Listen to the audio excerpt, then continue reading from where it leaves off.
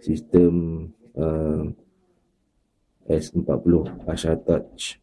Dia ada dua SIM SIM card kan? SIM 2 uh, micro SD nah, ini lock screen dia. Bila kita kunci kita tolak ke kiri boleh.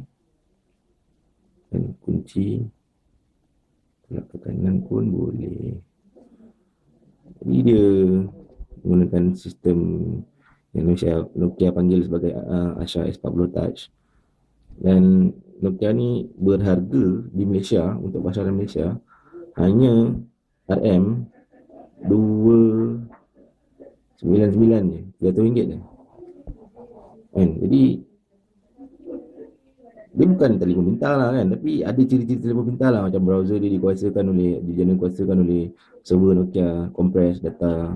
Ada Nokia Store dapat 40 perisian percuma untuk kita gunakan sesuka hati. Ha, tengok ada choose a SIM so kita boleh pilih SIM card mana yang kita nak guna untuk data. Kan?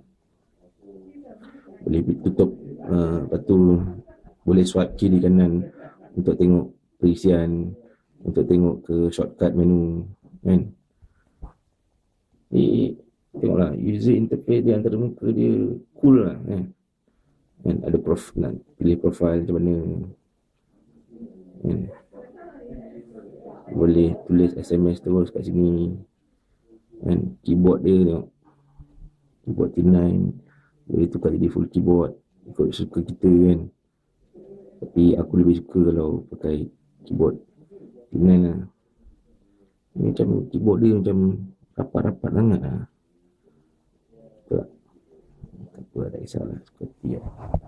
Aku suka kau lah labu. Tapi nak cakap kat sini Dia Sebab dia bukannya telefon sebenar-benarnya telefon pintar. Cuma ada ciri-ciri telefon pintar. Jadi ada limitation dia banyak lah. Kan? Ada banyak benda-benda yang dia tak boleh buat. Dia tak ada multitasking. Kan? Dia boleh jalankan satu benda pada satu masa je. Tapi boleh lah kalau nak dengar lagu sambil tulis SMS Ataupun browsing internet boleh lah.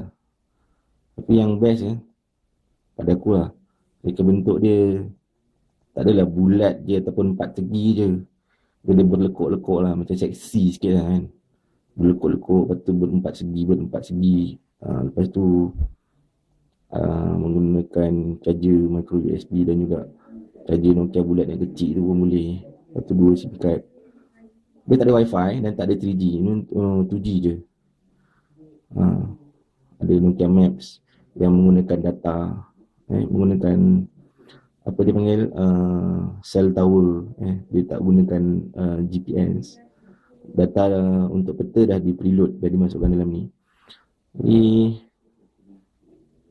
sesuai untuk mereka yang cuba-cuba nak berjinak-jinak dengan dunia telefon pintar tapi dia bukannya telefon pintar. Uh, so itulah dia dari saya.